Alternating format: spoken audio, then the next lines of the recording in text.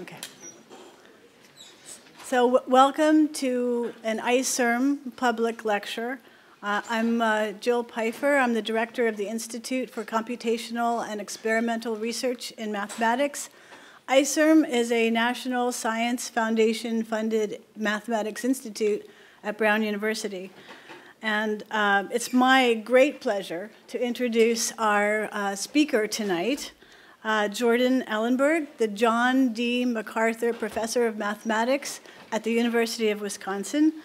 Professor Ellenberg is well known in mathematics for his research in algebraic geometry and number theory, and especially for the surprising uh, discoveries he's made that connect algebraic and geometric structures. But he's also very well known for, uh, for his contributions to the public education in mathematics. He's got a PhD in mathematics from Harvard, but also a master's degree in fiction writing from Johns Hopkins. And he is, uh, in addition to his research of awards of a, of a Sloan Foundation Fellowship, an NSF Career Grant, he is a 2013 Fellow of the American Mathematical Society and a 2015 Guggenheim Fellow. So uh, Jordan's writings has, have appeared in um, the Wall Street Journal, the New York Times, the Washington Post, Wired, The Believer, the Boston Globe, and he's the author of Do the Math on Slate, if you have read that. Uh, finally, I have to mention Jordan Ellenberg's uh, book, uh, How Not to Be Wrong.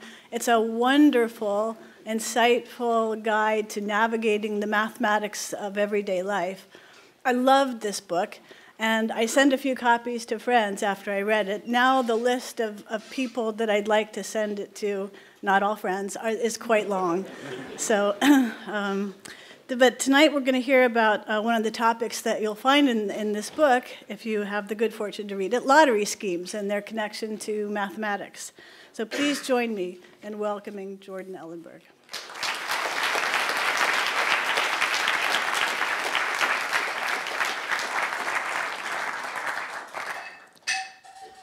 Hi, everybody. Thanks so much for coming out on a rainy night. Um, well, so I mean, as a teacher of mathematics, I mean, the way we teach math is by telling stories. So basically, tonight is just going to be devoted uh, to a story, a math story, and I guess maybe um, what, is, what did I learn from getting a degree in fiction writing? It's good to start stories at the end. So, so let's start at the end. I actually have a movie. Let's see if it will play. Um, so what you're looking at Good evening. This is Jamie. Welcome to the Mass State Lottery's drawing, cash WinFall drawing for Monday, January 23rd, 2012 on MassLottery.com. Tonight's jackpot is estimated $2 million. Really hear what Massachusetts sounds like. It's very unfamiliar in Wisconsin, let me tell you. Um, so what you're watching First is the drawing for the Massachusetts Cash WinFall Lottery. It's a drawing from January 2012. Um, and then And this is actually the last ever drawing of the Massachusetts Next Cash WinFall Lottery, which is why it's the end of the story. And the Number point of the story is really to explain why this was the last ever drawing finally, of this 17. lottery. So I'll Once stop again, the the winning cash to watch it all. windfall numbers for So before we start, let me remind you guys, or tell you for the first time, a little bit about how a lottery works. So here's the basic idea. A lottery ticket costs a small amount of money, and what you get for your small amount of money is a small chance of winning a large amount of money. That's the basic idea. So for instance, I'll make sort of a baby version here. Maybe a ticket costs $2, and maybe each ticket offers you a 1 in 200 chance of winning $300. So if you were to buy a lot of lottery tickets, and people who play the lottery do buy a lot of lottery tickets, if you were to buy, let's say, a thousand tickets, well, out of those thousand times, you'll probably win about five times, right? I mean, it could be more, it could be less. It's a game of chance, but on average, you can expect to win about five times.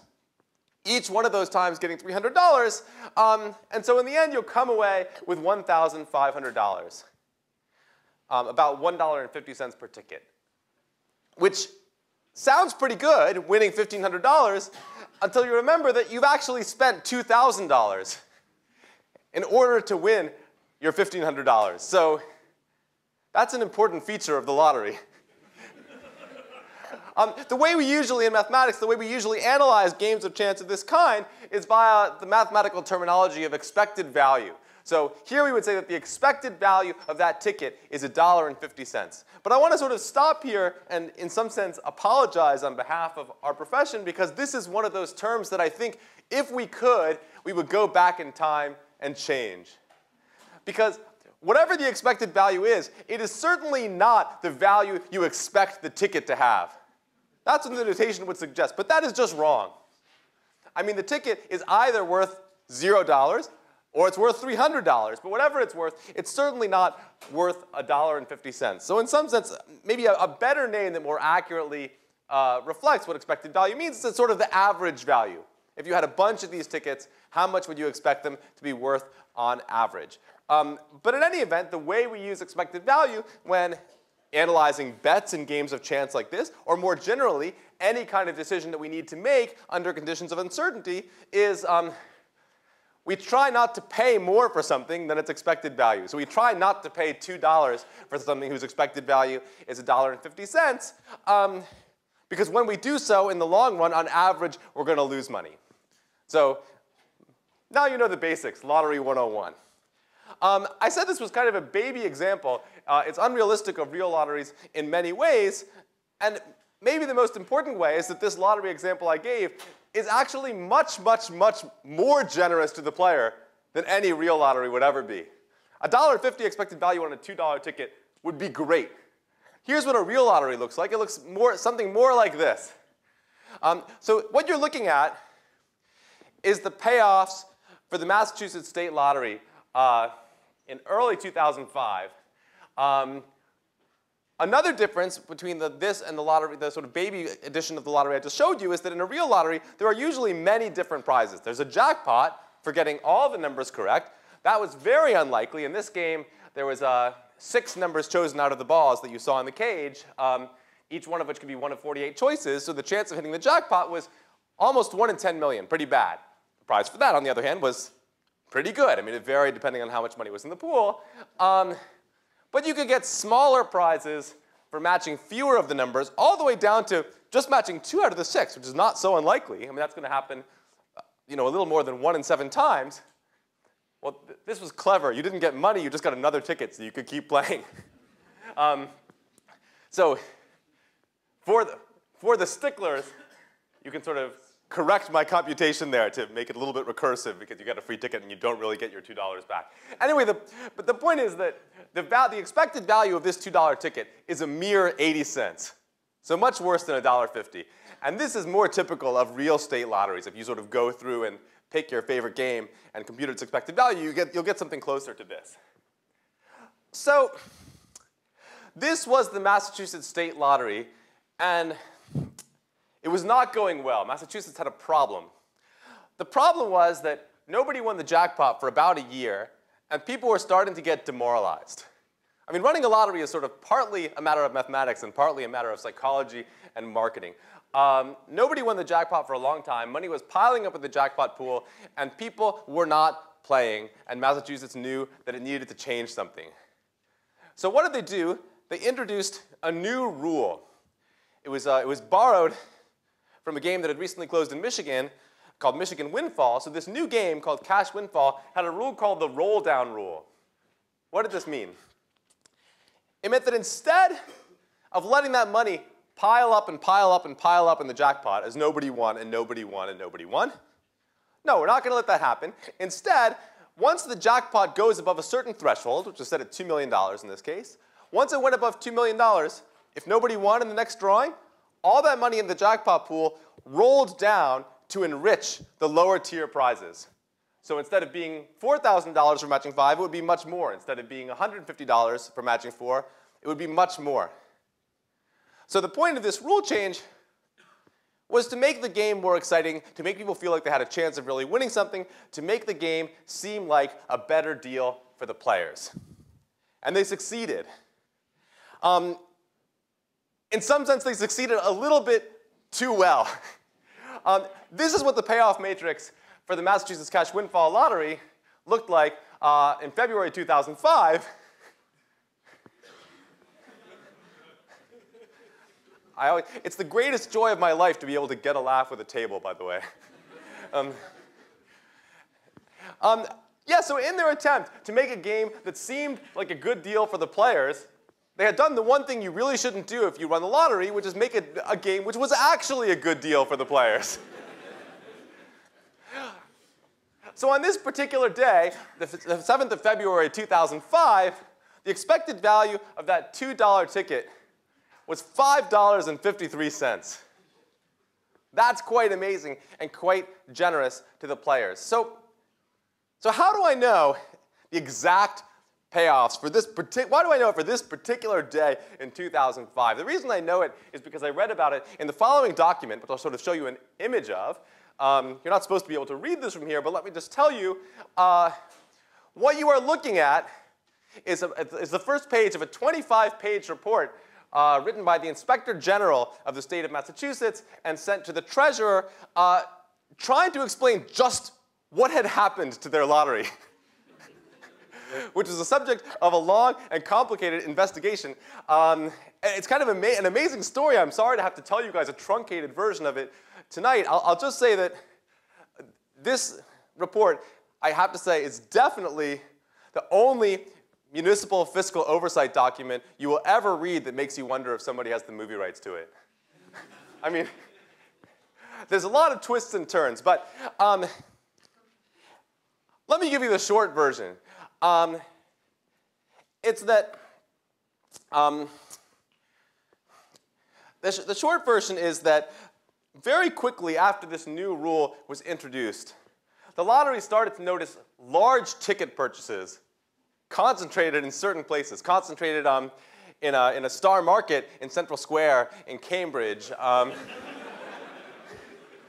there, was an, there was another one down in, uh, in Quincy, um, and there was another set of huge purchases up in uh, Williamstown, Massachusetts. Um, what, was, what was going on? What was going on is that there are very, lots of people can make a table like the one I just showed you. And in particular, um, there was a student at MIT who had the incredible good luck in January 2005 to be doing an independent study project on the expected values of state lottery games. um, just at the right time. So as part of his project, he was working out the expected value of every game currently being run by, uh, by Massachusetts, and he made a table probably pretty much like the one I just showed you. And what you can imagine the first thing that he did, uh, he went around, uh, he went around his dorm and he basically told everybody he could find, you should really give me as much cash as you have right now so I can go to the Star Market in Central Square and buy as many lottery tickets uh, as I can afford. And like, you know, lots of kids at MIT can make or check a table like this, and so he was able to get a lot of takers. Um, and so um, he formed a group of people uh, called, they eventually actually licensed themselves as a company called Random Strategies um, to buy lots of lottery tickets every time this roll down rule was in effect. By the way, I should say, their strategy probably doesn't seem that random.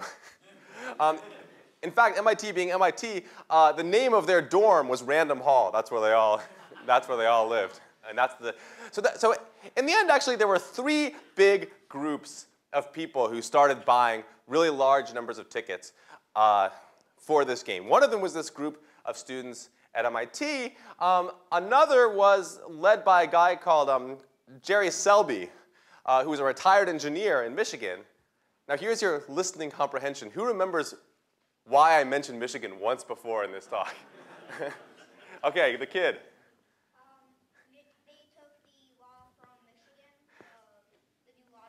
Exactly. So Jerry Selbee was a guy who had been making a lot of bank for the last five years playing this game, playing Michigan WinFall before it finally closed down in 2004, and he absolutely could not believe his eyes when he saw that Massachusetts had opened the same game. So he and his wife immediately got in their car and drove to the nearest point in Massachusetts to, Grand Rapids, Michigan, where he was from, which is in Williamstown. Um, and they set up their buys. And then there was another whole group. Actually, they had my favorite name, the Dr. Zhang Lottery Club, um, which is run by Ying Zhang, who is a biomedical engineer at um, at Northeastern, and they were buying tickets in, down in Quincy. um, every time that roll down came up. So by the time these three betting cartels were in full swing, um, about 80 to 90% of all tickets bought by anyone for the roll down games were being bought by a member of one of these three groups. so they'd essentially taken over the lottery for themselves. By the way, I should say, um, the expected value did go down because with so many tickets being bought, there was more prize splitting. But they were still making a return of about 15%, um, which is pretty good. So how does the story end? I sort of showed you one version of the ending, but um, this comes to a stop when uh, sometime in the summer of 2011, uh, this is the front page of the Boston Globe. So so a reporter from the Boston Globe gets wise to what's been going on and runs a story sort of explaining uh, what has happened with the cash WinFall. And remember what I said, that running a lottery has a lot to do with psychology. Once everybody knew that this was going on, people stopped playing and the lottery started to dwindle and it sort of limped to a halt with that last drawing I showed you being about six months after uh, this Boston Globe story comes out. Um, so that's sort of the narrative part of the story, right? I mean, I, there's a lot of twists and turns I didn't tell you about, but um, this is a math talk, not just a storytelling talk. And so what I want to turn to now is that I think this story, when you read it as a mathematician, there's a lot of puzzles that are left. And actually, I got kind of obsessed with these puzzles as I read the story and tried to figure out what was going on and read the Inspector General's report. Um, so let's talk about those and sort of figure them out. There's an easy puzzle and a hard one, and I'm going to start with the easy one. Um, so the first puzzle is that it's actually really hard to figure out how you would get away with this. I mean, let me remind you that the state of Massachusetts knows who wins the lottery, right? It's not a secret. They have to pay you. They know that it's like the same stores every single time, like winning all the prizes. Um, so it is extremely difficult to figure out um, how you get away with something like this. So I said this puzzle was easy. Uh, Here's the, here's the answer. The answer is that the state of Massachusetts completely knew what was going on the entire time. The entire, I mean, remember, this is six years. That first drawing I showed you is, 20, is 2015, and then it ends at the very beginning of 2012. So this is going on for a long time. Um, one thing I did not tell you, just to create a little dramatic tension, um, I, I slightly lied. It's not true that the first thing the MIT students did was go around their dorm collecting lots of money. Um, the first thing they did, actually, as we know this from the Inspector General's report, the first thing they did was get on the T and go out to the lottery headquarters in Braintree and meet with lottery officials and say, like, you know, this new game you have has a massively positive expected value. We're kind of planning to like buy thousands of tickets and make lots of money. Is that legal?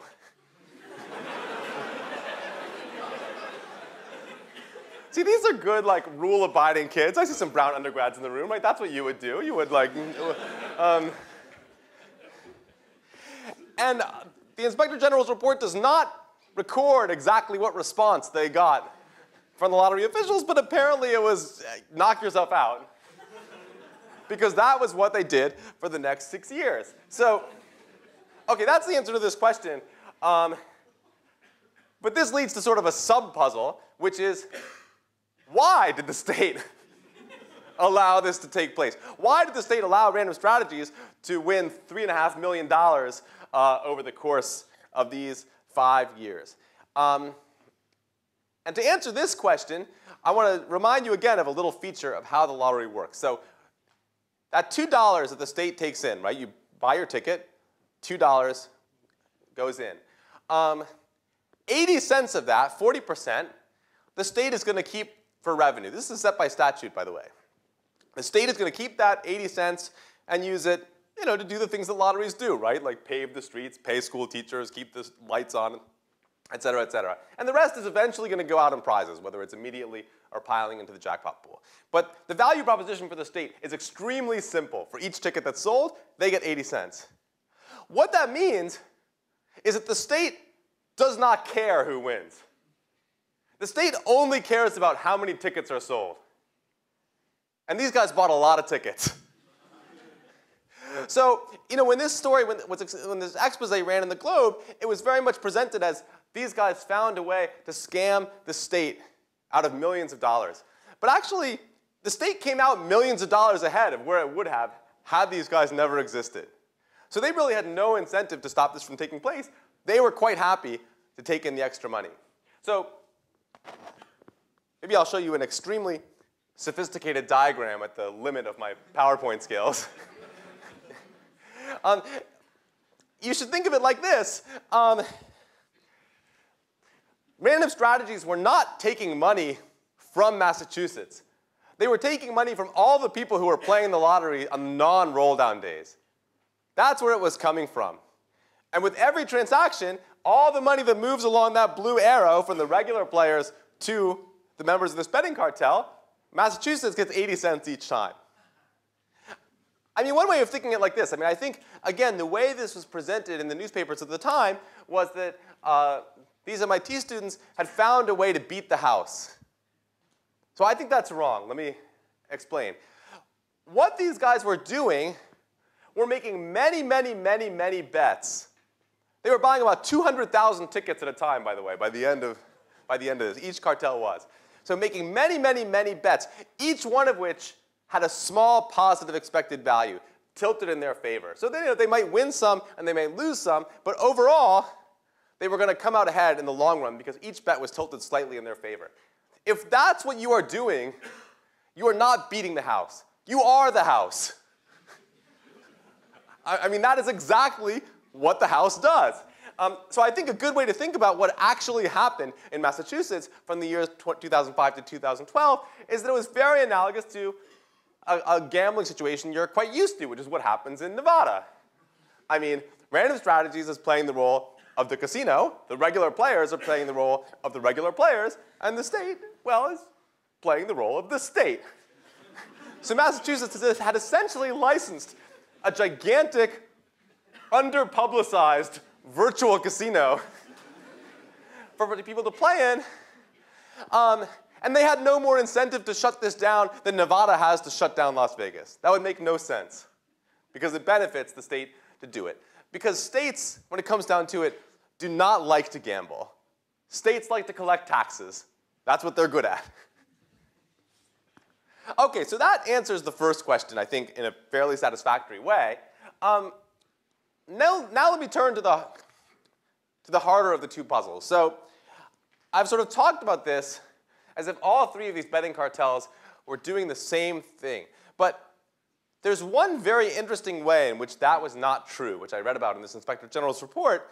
Um, Jerry Selbee and the Dr. Zhang Lottery Club, when they bought their tickets, um, they used what's called the quick pick. Do you guys know what that is, the quick pick machine?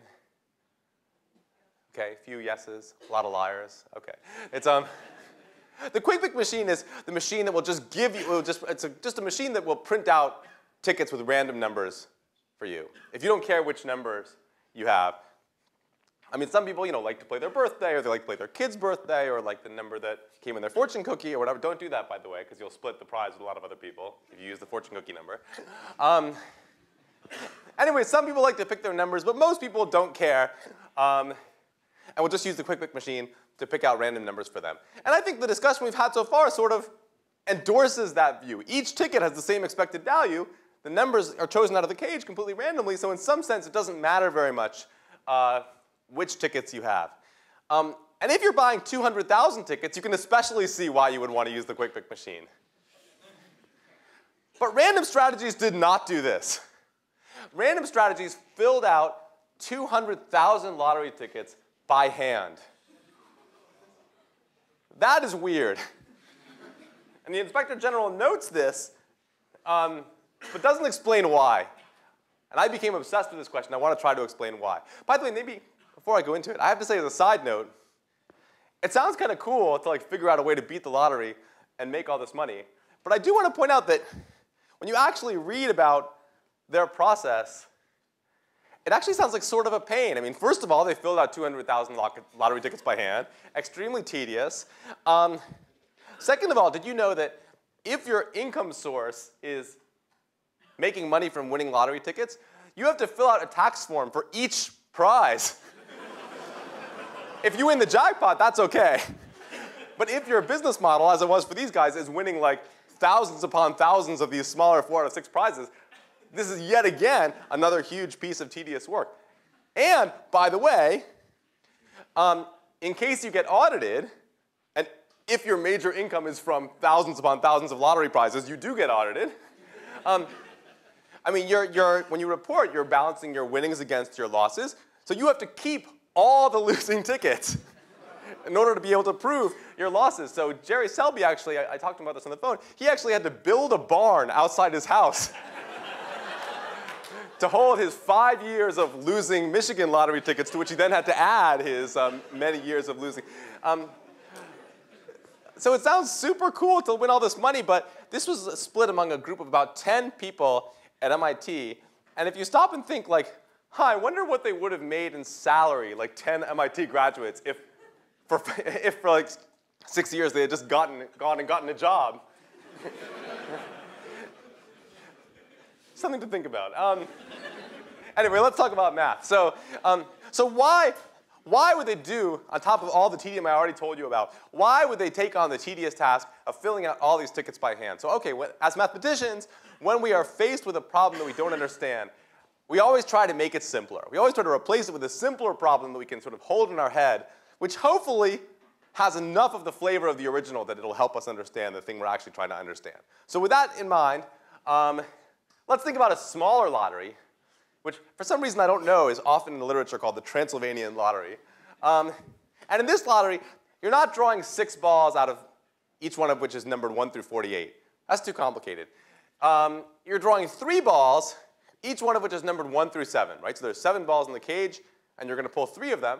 And the advantage of this is that the number of possibilities for the jackpot is so small that I can fit them all on one slide. And here they are. I hope you can be convinced that I've like written all the possibilities of ways to draw three numbers out of seven. Um, for the combinatorics fans, that is seven choose three or 35. That's how many, uh, that's how many triples there are on here. Okay, so I'm designing my lottery that I'm telling you about. I have to tell you what the, how many balls there are and how many numbers there are. I've told you that. Now I have to tell you what the prizes are. And to make this realistic, we should have multiple tiers of prizes. So, um, so let's say this. If you get all three numbers right, you hit the jackpot, you win $6. If you get two out of three, that's still pretty good, you get $2. Otherwise, you get nothing. So for instance, if the jackpot is 137, if that's what you have, you get $6. Great. If you have, let's say, 127, you have the 1 and the 7 right. Order doesn't matter, by the way. Um, so you get $2. And if you have 145 or anything else that matches 1 or 0 numbers of the jackpot, um, then you get 0. So, a big player in this game is not somebody who buys 200,000 tickets, right? There's only 35 possible tickets after all. So let's say a big player in this game is somebody who buys, let's say, seven tickets. That's a lot. That's like a fifth of like all the possible tickets. Um, so I made a little chart so you can see um, if you buy seven random tickets, what are your winnings going to look like? It's not hard to, to compute that the expected value of those seven tickets is $6. But of course, you know, different things might happen. You might get unlucky and completely strike out. That's actually not very likely. There's only a 4% chance that all seven of your tickets will be complete losers, but it certainly could happen.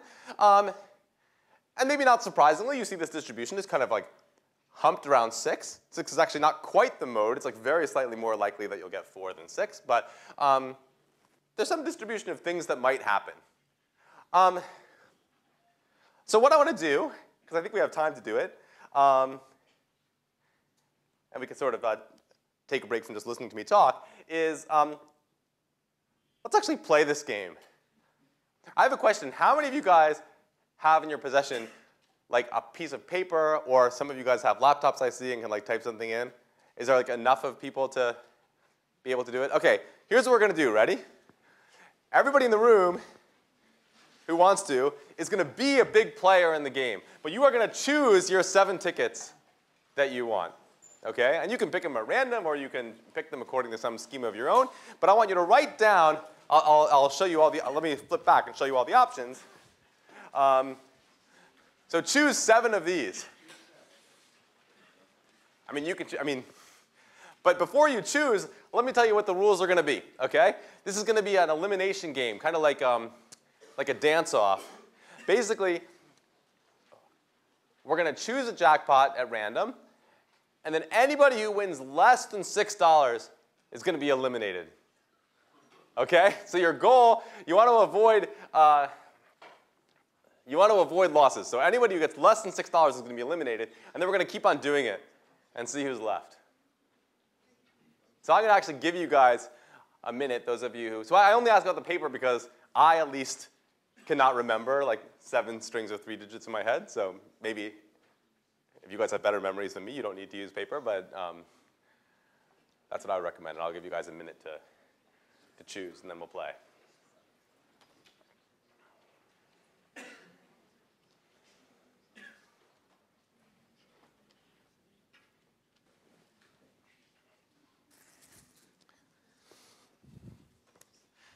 And I'm also going to need one person to be the ball cage, actually. So I don't actually have like a physical metal cage full of ping pong balls. So um, who's going to do it? Mike, can you do it? Can you? I'm volunteering you to choose random numbers for me. Will you do it?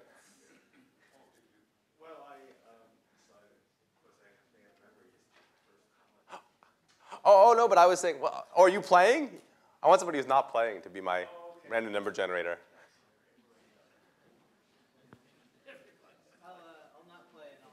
Okay, Jamie's to do it. Okay. All right, does everybody have their numbers? Are we ready to go? Oh, no? I'm not going anywhere. I can get. Um.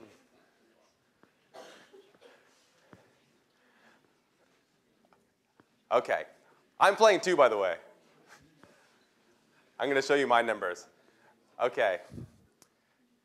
Oh my god, I think Jamie is actually coding a random number generator like as we do this. That is, that is awesome. Um,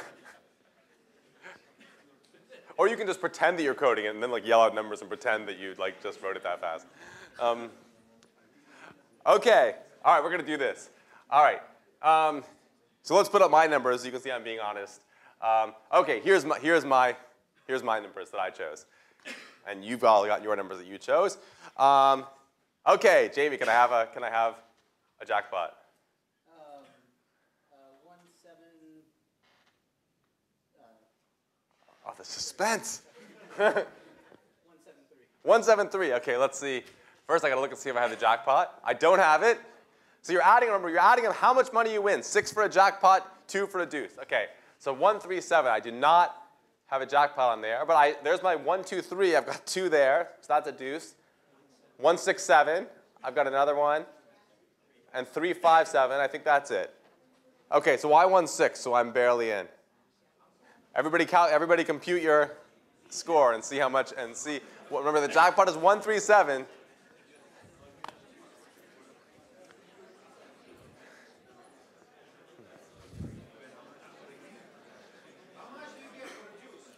Two dollars for a deuce. That's why it's called that.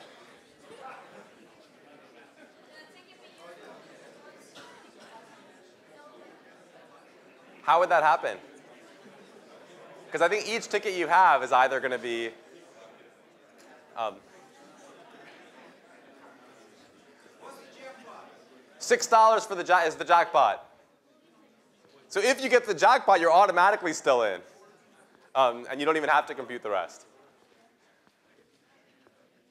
Okay, who's still in? A lot of people. Awesome. Okay. By the way, just to show this again, um, I mean, note that even if you pick your tickets randomly, the chance of getting $6 or more is pretty good. So it's not, I mean, you should still be proud of yourself, I'm just saying. Okay. All right, let's do it again. Jamie, I need more numbers. And oh, by the way, and remember, this is like the dance-off. Once you're out, you're out. You can still play, but only recreationally. Okay, so, so just remember that you're out. Okay. Uh, yes, Jamie, what do we got? 214. Okay, 214 or 124. Remember, order does not matter. I'm going to look for mine.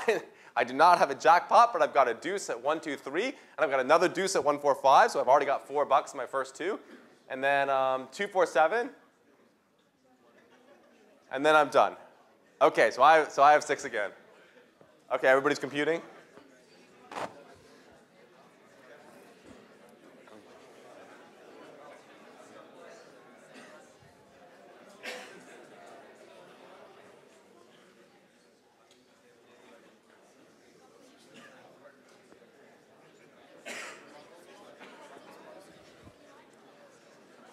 Okay, one, two, four.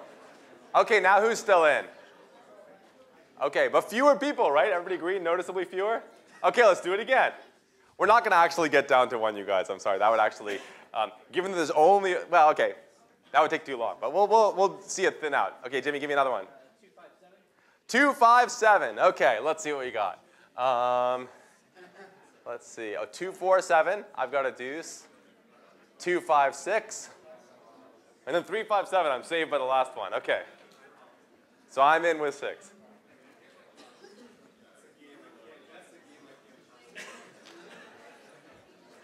Okay, who's still in now?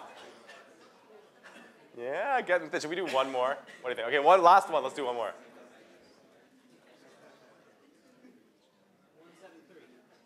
We already did that. okay, but that's effective. Okay, do another one, because then we do 137, the exact same people. By definition, everyone who's in will still be in.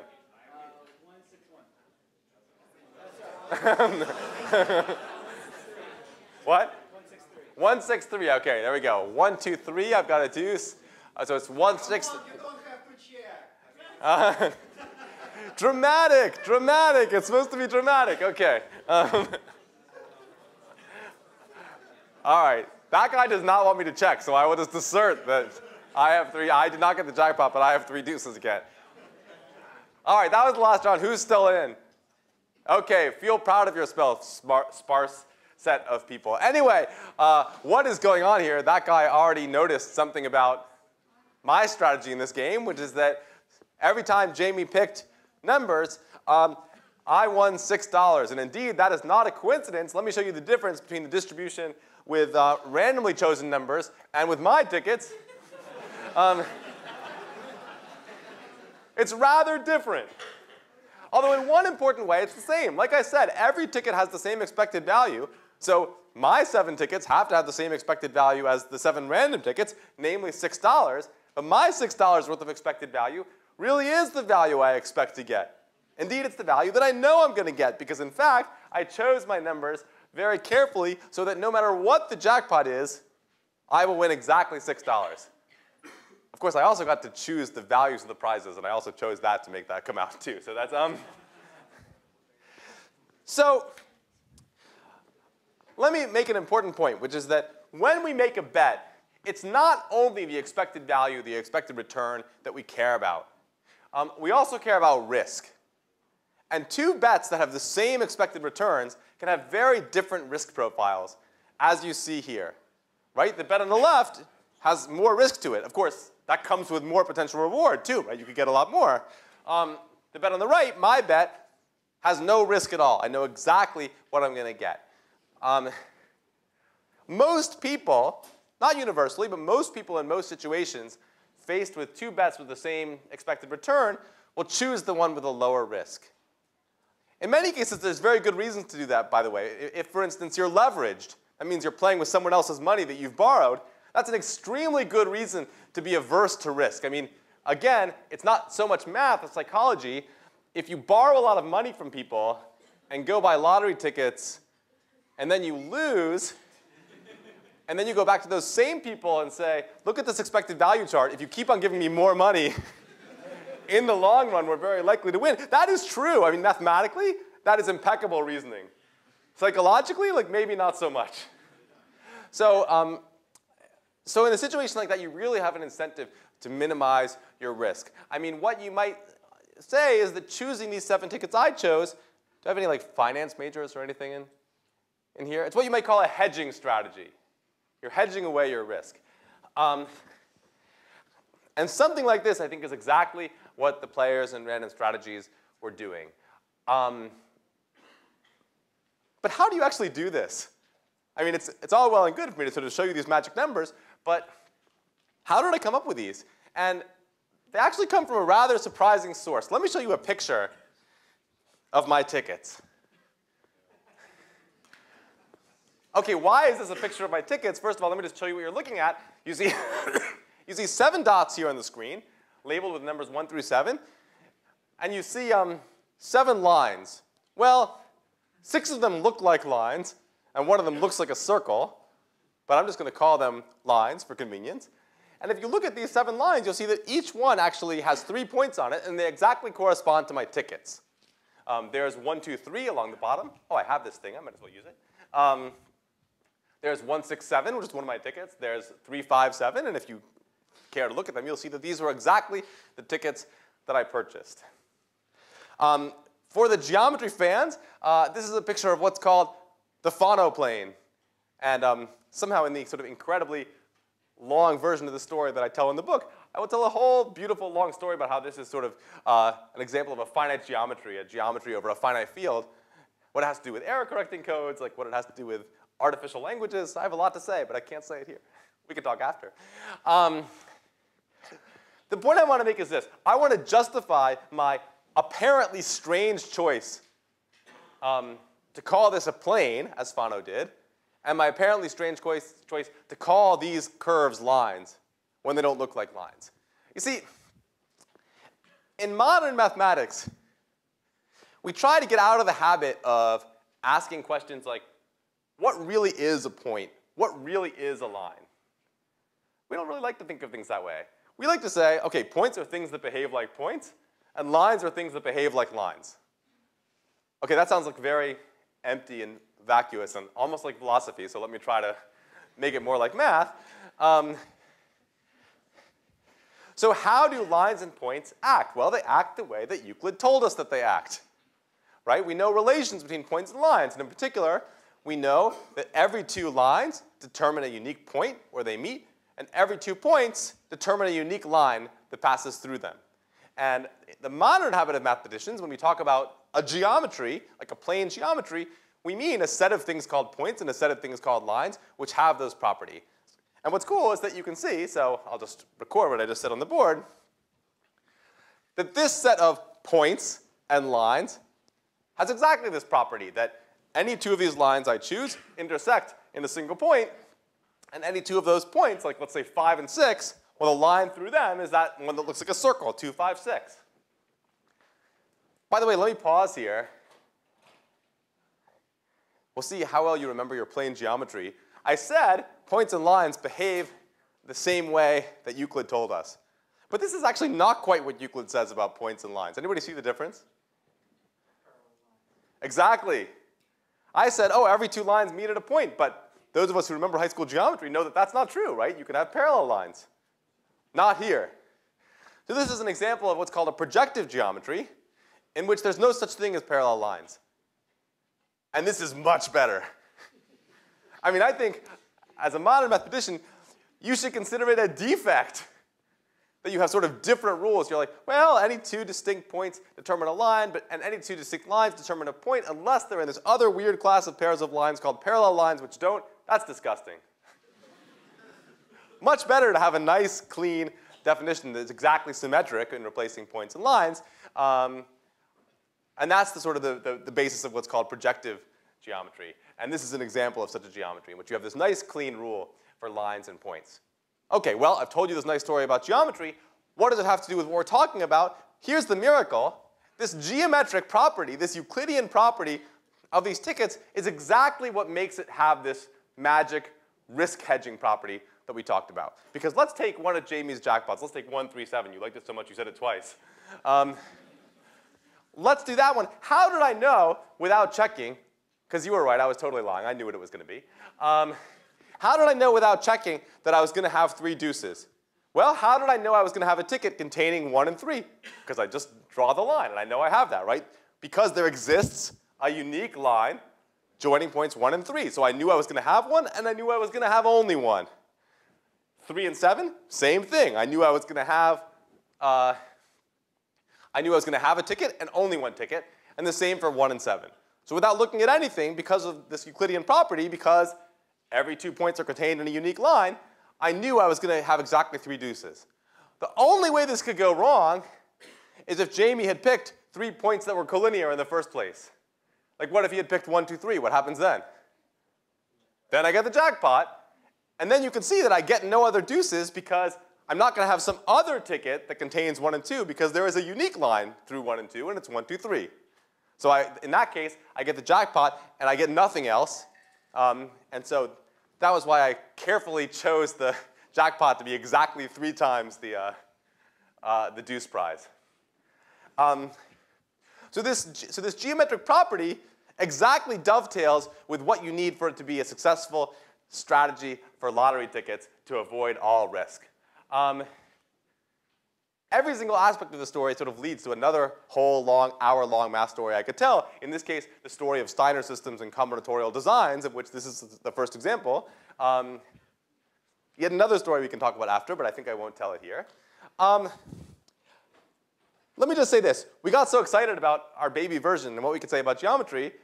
I did say at the beginning that the reason we move to a smaller version of the problem that we can think about is that hopefully it gives us some insight into the bigger problem. So you might be hoping that on the next slide is some kind of incredibly intricate hypertriangle with 48 dots that will show you, and it's not quite as beautiful as that. But I, I did, as I said, I got kind of obsessed with figuring out what they did, and I sort of like went through a lot of the literature in combinatorial designs looking for things which would roughly match the parameters of the Massachusetts lottery. Um, and I was able to find the following, a paper by R.H.F. Denniston from 1976, um, constructing a Steiner system, um, I think on 46 points. So you have to sort of do a little bit of hacking to kind of make the cash WinFall fit into this because it's 46 instead of 48. Um, but if you use, if you make a set of tickets out of Denniston's design, you get a set of about 230,000 tickets, which all but guarantees that you'll win five out of these five, five of six prizes.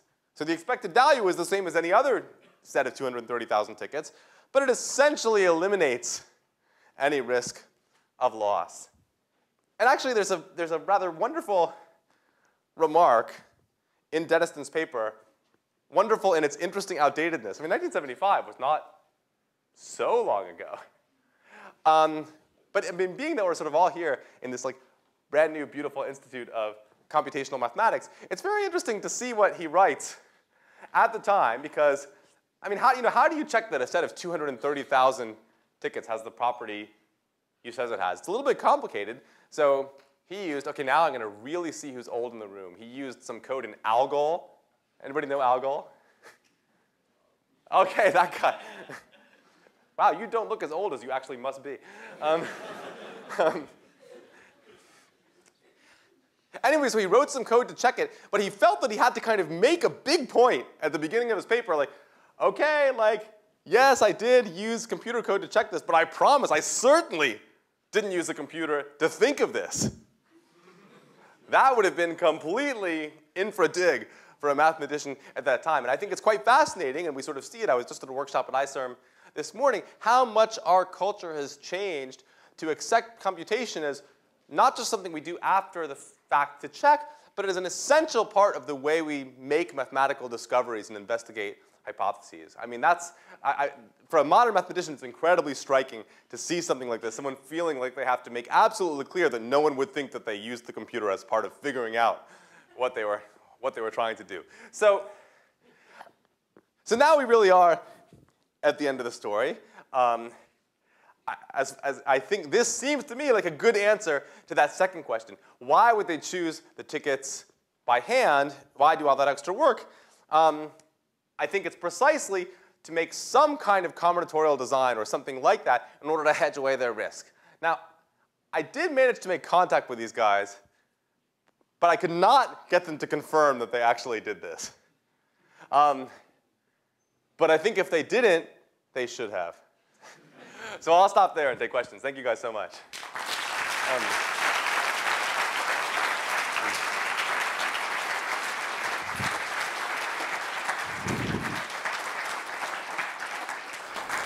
You can use the microphones to come down and ask questions. Please, please feel free to, to, to line up the microphone. or I can probably hear it. I mean, oh, but do you need it for the recording? Well, the- if you could repeat the question. Okay. So may I ask a preparatory question first? They had to, if they only won, even the small jackpots, they had to split if other people picked the same numbers as they did? Uh, yes. So, so- that, that's why the expected value went down a So lot. So I would suggest that they also picked numbers that are higher than 30 on purpose. because people tend to pick lottery tickets that have numbers in months because it's their birthday, et cetera, so they would less likely to conflict with other people who pick the right tickets. So on the one hand, that's true. On the other hand, by the time this was in full swing, the number of people who were, I mean, the number of tickets being bought by people who would, would do that, like normal people, was like so small relative to that it, all, that it almost didn't matter. But that's good advice for like general, uh, for general lottery playing, for sure.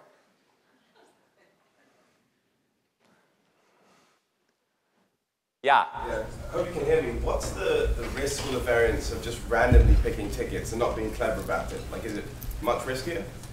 It's, it's somewhat riskier, but it's not as dramatic a difference as in the small example I showed. Because when you're buying 230,000 instead of seven, even if you buy randomly, like a lot of the risk goes away. So I don't, I don't quite, I did compute this while I was writing this chapter of the book, and I don't remember quite the numbers, but I think there was there wasn't a huge chance of getting much less, but maybe there was sort of like a 20, 25% chance or something like that. So they were hedging away something that mattered, but it wasn't dramatic the way it was in the, in the toy example.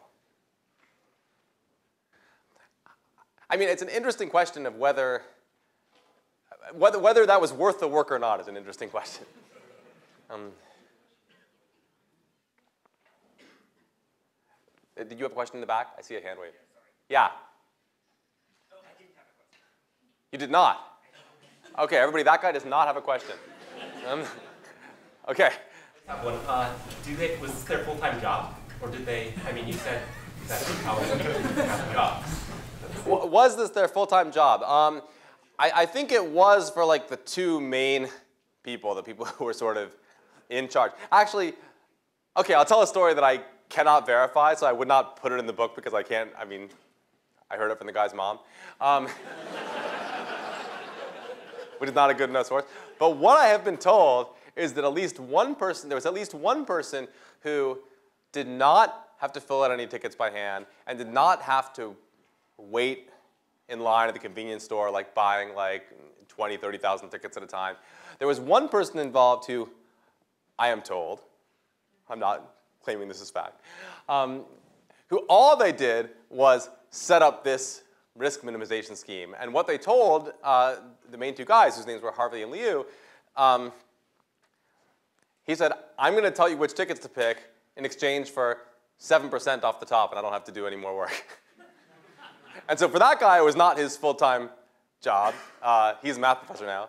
Um, but he collected sort of a handsome amount of money just for sort of one day of setting up this combinatorial design, or so I presume that's what he did.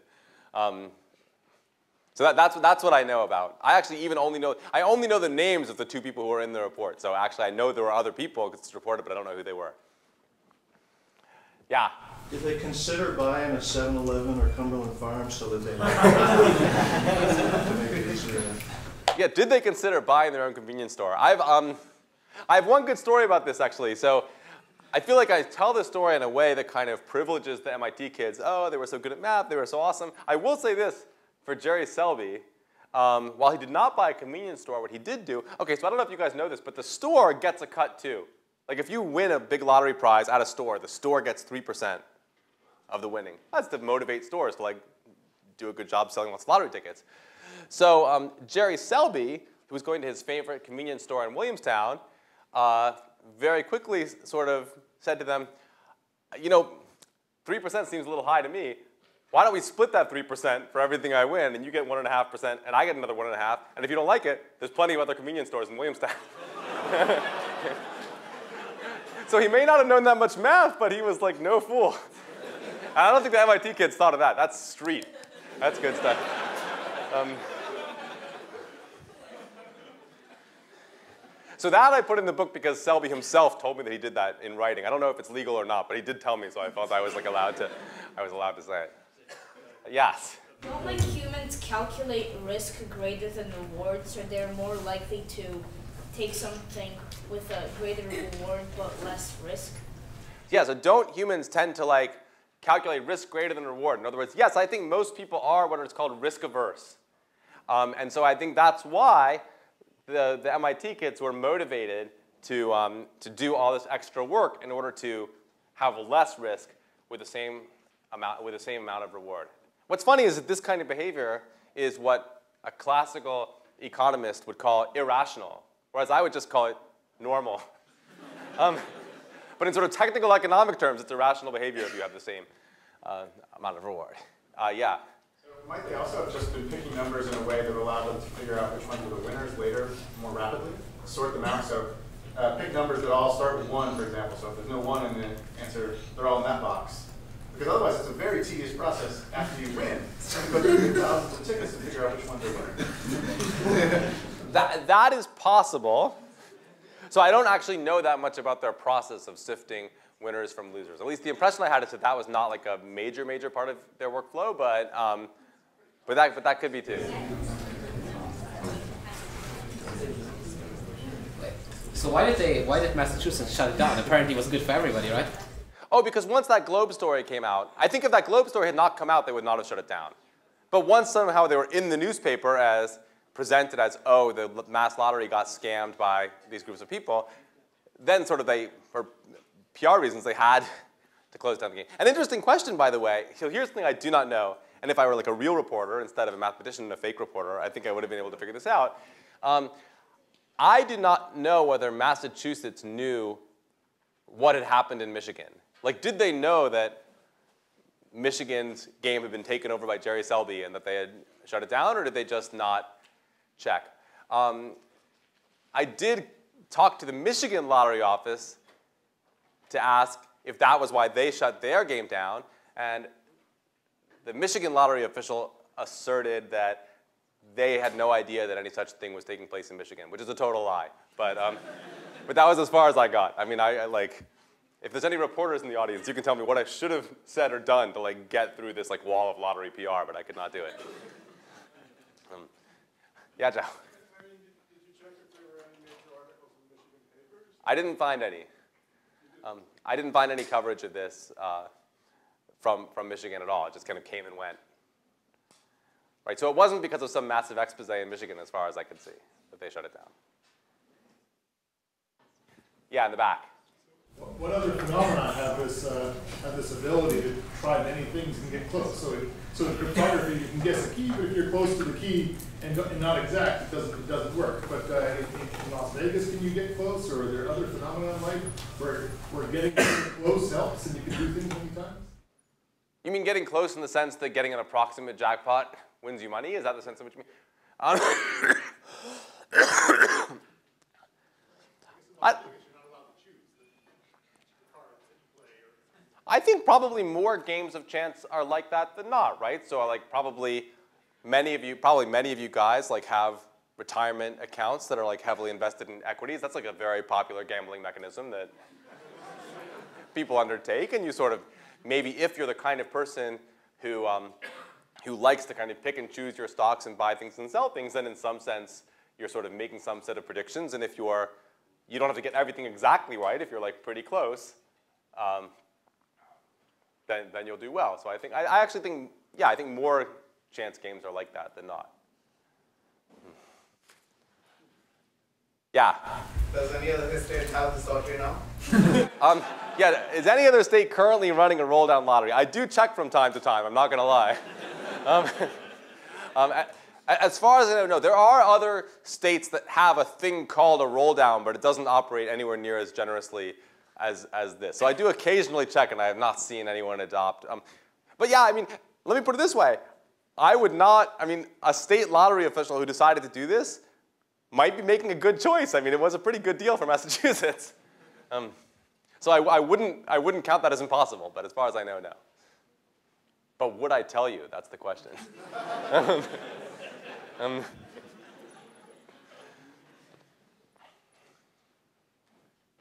yep. Whatever became of their company, what are they up to now? Ah, do you want to guess? This is a good one. What are, okay, what are these? What are these two guys doing now? Who wants to guess? Probably quant stuff on Wall Street. That was a good guess, but no. Working for the lottery. no, no, that would be interesting. No, they're startup dudes in Silicon Valley, of course they're like they, they decided to like play an even bigger gamble. So they're startup. They're, they're startup guys and they have an, what is their app called? I think it's called Quickly Chat. I mean, it's some kind of, it's some kind of thing where somehow if you work in an office, people can like open a chat window on your screen like against your will or something. It sounds horrible. Um, but, but apparently a lot of people invested in it, so you see why I'm not in Silicon Valley. Um, um.